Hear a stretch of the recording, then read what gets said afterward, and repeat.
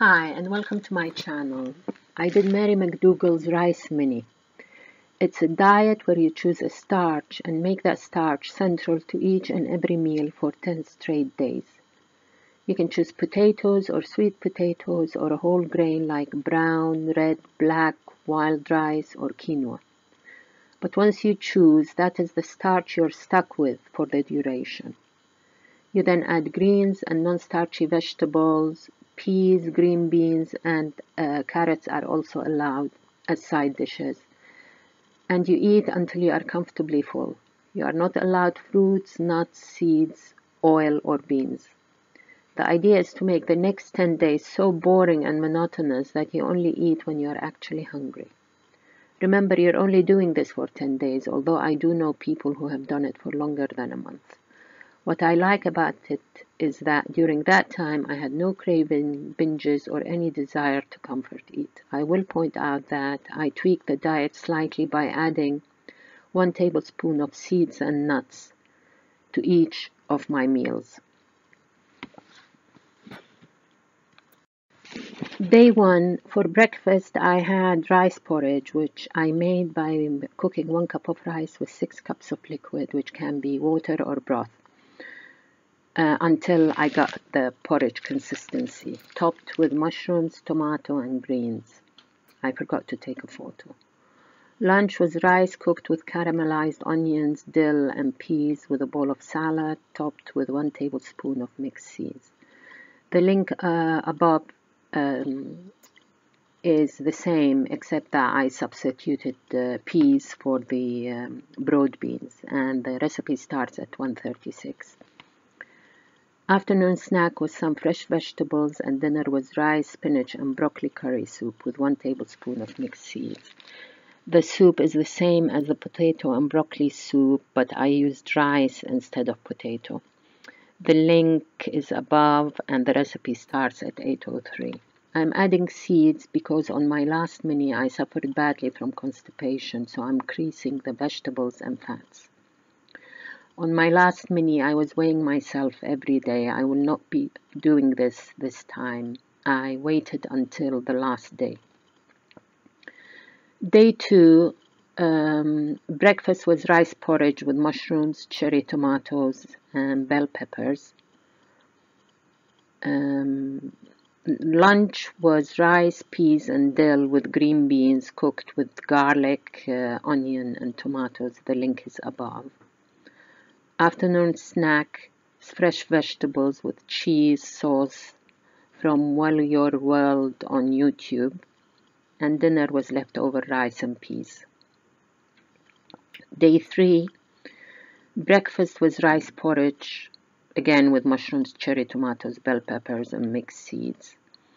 Lunch, we were out, so I had vegetable sushi rolls. There was a little bit of avocado, but only a tiny bit.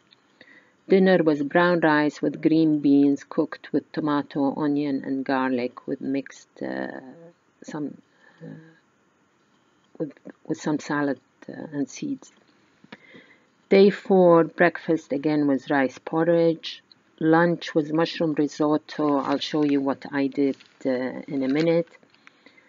Um, with some peas. Afternoon snack was fresh vegetables and the cauliflower cheese sauce and dinner was salad, rice and green beans.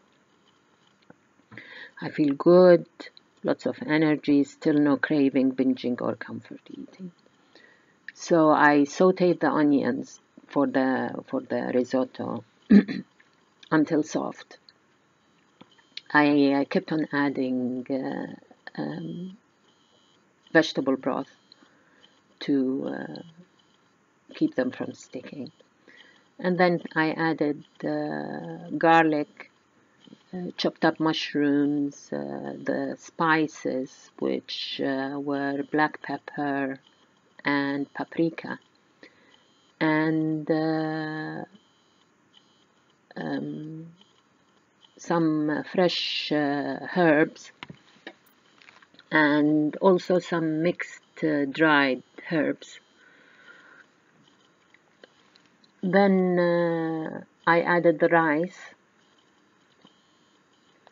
and uh, when the rice became, you know, I kept it on uh, on the heat for about two to three minutes until it became like translucent.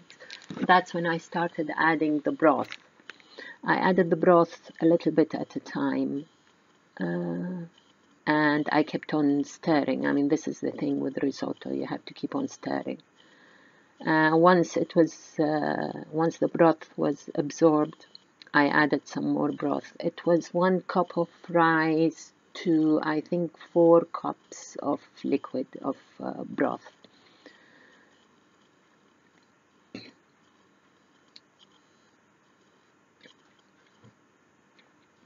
Day five, breakfast was rice porridge with cherry tomatoes and bell peppers with a tablespoon of crushed walnuts.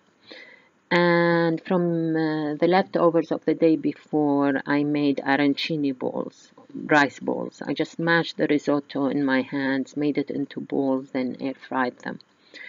We had them with broccoli and cauliflower. The sauces we used were sweet chili sauce and cauliflower cheese sauce. Dinner was rice and broccoli soup. Day 6.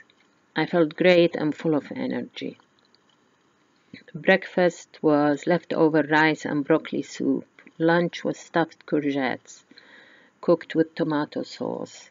The link is above. The only difference is that I omitted the meat substitute.